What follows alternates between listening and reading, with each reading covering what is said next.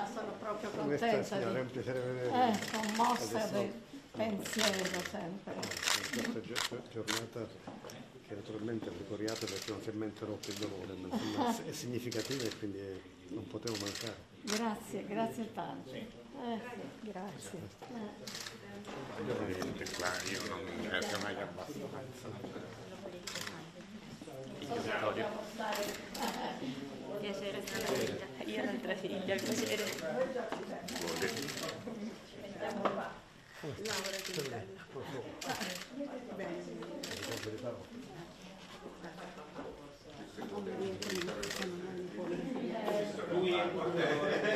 Sono qui cugina di Giovanni Grasso, attraverso mio marito.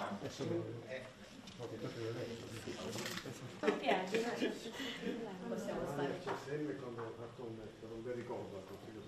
Sì, abbiamo visto. Il centro è stato l'intervento dei giovani. Beh, c'entra, Direi. Beh, siamo preoccupato prima, ma per fortuna il Presidente. Mi hanno detto quella ministra della televisione che mi guardava con occhio affettuoso, perché ho detto chissà che cosa penserà dopo che ho detto il mio intervento, invece mi ha detto uno, guarda che ti guardava con affetto, ho detto, beh, Meno male. meno male. Fa ingresso il Presidente della Repubblica.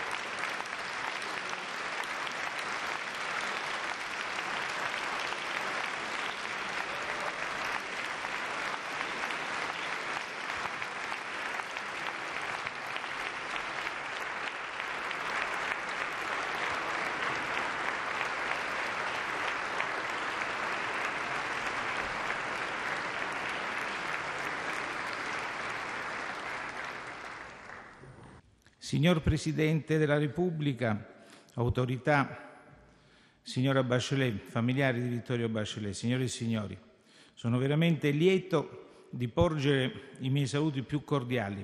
In occasione di questo seminario su Vittorio Bachelet, l'impegno come responsabilità e come esempio, organizzati in collaborazione col Consiglio Superiore della Magistratura, l'Associazione Vittorio Bachelet e l'Azione Cattolica Italiana, che ringrazio sentitamente per aver promosso, assieme al nostro Ateneo, la celebrazione del quarantesimo anniversario della scomparsa dell'illustre docente studioso che dedicò la sua vita al servizio del Paese.